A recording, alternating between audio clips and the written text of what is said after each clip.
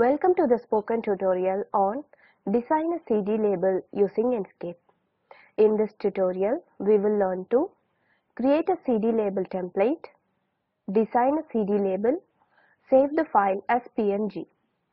To record this tutorial, I am using Ubuntu Linux 12.04 OS, Inkscape version 0.48.4. Let us open Inkscape. Click on File and then on Document Properties. Change the width and height parameters to 425 pixels. Close the dialog box. Create a square using the rectangle tool. Color it red. Click on Selector tool. On the tool controls bar, change the width and height parameters to 425. Next, draw a circle using the ellipse tool. Once again, click on the selector tool. On the tool controls bar, change the width and height parameters to 425. Select both the circle and the square. Go to Object menu, click on Align and Distribute. Set the Relative to option to Page. Align the objects in the center. Go to Path menu, select Difference. Now draw another circle. Once again, click on the selector tool.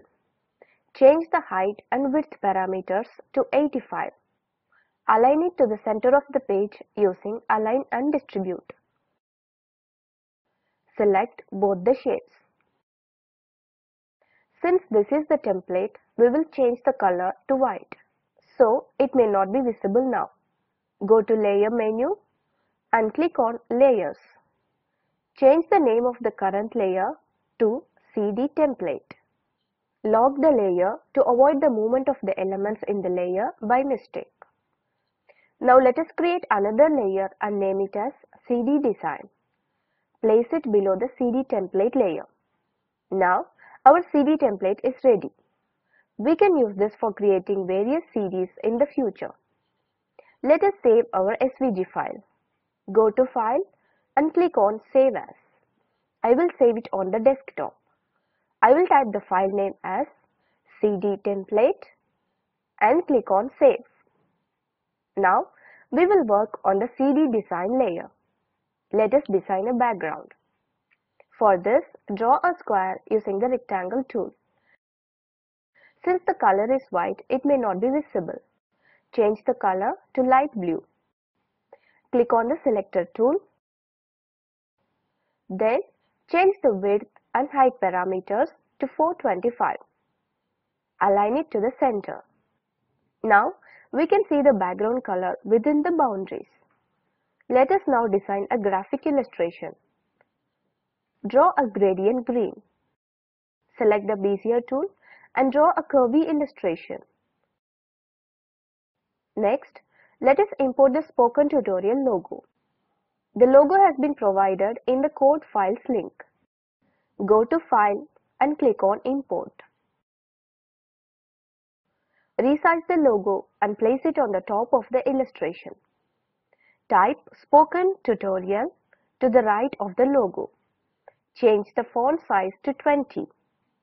Type Partner with us, help bridge the digital divide on the next line.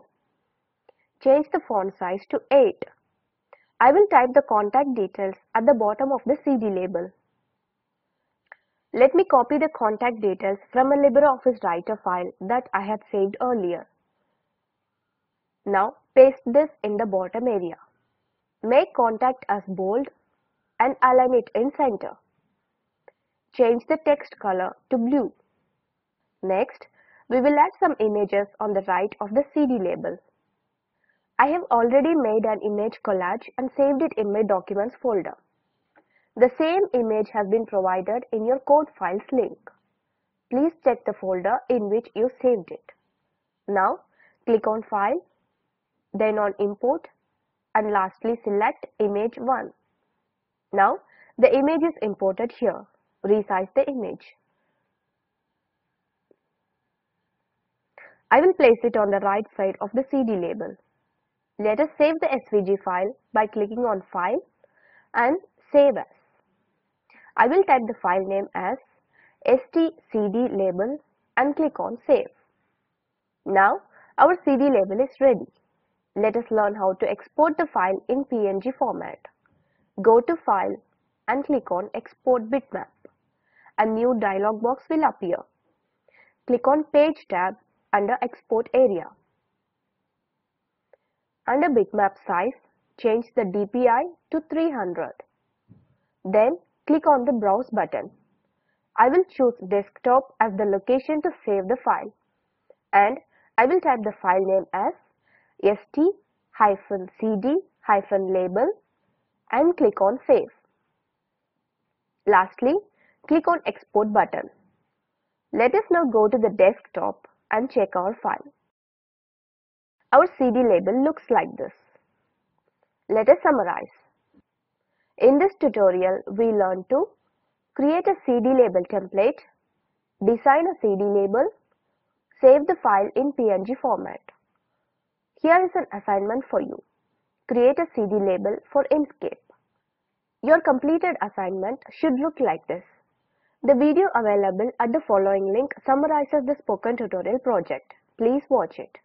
The Spoken Tutorial project team conducts workshops and give certificates for those who pass an online test. For more details, please write to us. Spoken Tutorial project is supported by the NMEICT MHRD Government of India.